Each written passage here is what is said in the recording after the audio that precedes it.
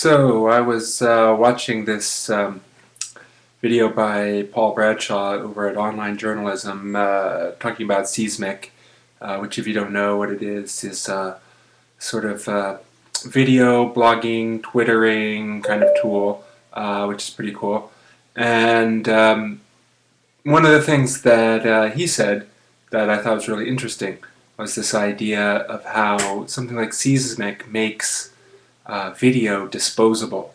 I suppose this kind of is disposable video too. I mean, who it's uh, you know quickly made and uh, quickly dispensed with, and that's a, a, relatively new kind of concept, right? Because uh, video for a long time has been uh, expensive to make and uh, information intensive in terms of storage and processing and all these kinds of things. And here I am, you know, making videos online right? And so now this has become uh, incredibly easy. And uh, when he said that, it made me also think about the uh, Horizons report, which is uh, you know a report put together by EDUCAUSE and the New Media Consortium, that are uh, two uh, groups, non nonprofit organizations of um, universities and, and other educational technology kinds of companies. And the Horizons report is this kind of looking at technologies that are on the horizon.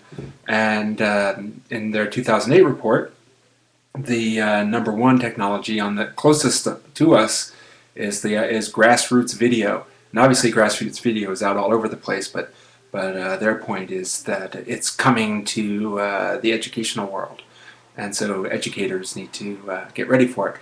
So here, you know, here are these two two similar kinds of perspectives: the idea of uh, you know grassroots, quick and dirty um, video production and disposable video, right? The idea that you can just here I am, you know, get on the web, click on your uh, quick capture, get in front of your webcam, and, and start jabbering about uh, whatever you want.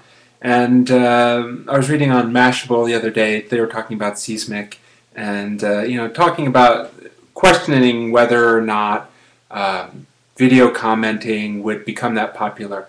Um, that you know, sort of speculating that it would be very popular with a sort of YouTube live journal kind of crowd, where it's more about expression and, and uh, you know connection and community and friendship and things like that, uh, rather than you know with more corporate types of communication or more professional blogs or or maybe even like news media and things like that that use these kinds of commenting features uh, that those kinds of more quote unquote serious places wouldn't uh, uh, make use so much of video that people wouldn't want to um, wouldn't want to communicate that way, wouldn't want to be seen that way, and uh, prefer the text. And that also text is uh, quicker to parse, and so you can you know find the information you want, and you don't want to spend your time watching a video to find out what's in it. And those are all good points. But I think that there's also something to be said about uh, the disposable nature of video uh, as we now experience it. And uh, as we increasingly come to see video as something that, hey, we can just do um, and throw up there and uh, not really think about, then it becomes increasingly more like Twitter. It becomes more like blogging.